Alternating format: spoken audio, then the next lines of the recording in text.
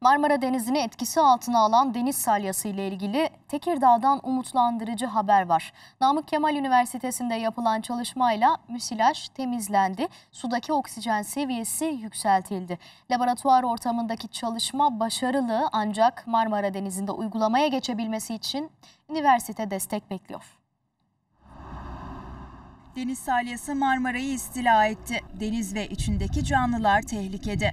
Peki temizlik nasıl olacak? Tekirdağ'da müsilajla mücadele için bir çalışma yapıldı. Yöntem laboratuvar ortamında başarılı oldu. Biz müsilajı yaptığımız uygulamayla gidermeyi başardık. Diğer projelerimizi bıraktık. Son 10 gündür e, bu deniz müsilajı, e, deniz salyası probleminin çözümüyle uğraşarak geçiriyoruz. Belli bir aşamaya geldik. Namık Kemal Üniversitesi'nde denizden alınan örnekler üzerinde çalışıldı. Müsilajın içindeki organik maddeler laboratuvar ortamında reaktif oksijenle parçalandı. Parçalanan müsilajın denizin dibine çökmesi sağlandı. Bu da sudaki oksijen seviyesini yeniden yükseltti. Biz e, deniz salyasının müsilajını kold atmosferik plazma yöntemiyle e, üniversitemiz sanayi işbirliğiyle ortaya koyduğu teknolojiyle ürettiğimiz reaktif oksijen türleriyle bertaraf etmeyi, parçalamayı, gidermeyi ve e, deniz suyuna oksijen kazandırmayı başardık. Yöntem laboratuvar aşamasında başarılı ancak Marmara Denizi'ndeki yansıması nasıl olacak bilinmiyor. 5 litrelik suyu daha önceki denemelerden e, söylüyorum. E, 3-4 saat içerisinde tamamen müsilajı ortadan kaldırarak e, deniz suyunu o örneğimizi oksijenlendirdik.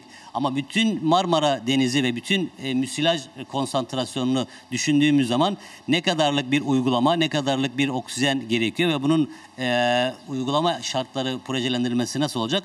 Bunu tamamen çalışmamız lazım. Devasa bir Marmara e, Denizi'ne uygulaması nasıl olacak? Hangi koşullarda, hangi projelerle bu oksijenlendirmeyi yapacağız? Ee, bunun çalışmasını bundan sonra gerçekleştirmemiz, yürütmemiz gerekiyor. Çalışmalarına devam edecek olan üniversite denizdeki uygulama için destek bekliyor. Biz müsilajı yaptığımız uygulamayla gidermeyi başardık. Deniz suyunu tekrar e, daha da iyi konuma oksijenlendirilmiş hale getirdik yaptığımız laboratuvar koşullarında. Artık bunun uygulamada nasıl olacağına, ne şekilde uygulanacağını çalışmamız gerekiyor. Zaten üniversite olarak da e, desteği bu konuda e, bekliyoruz.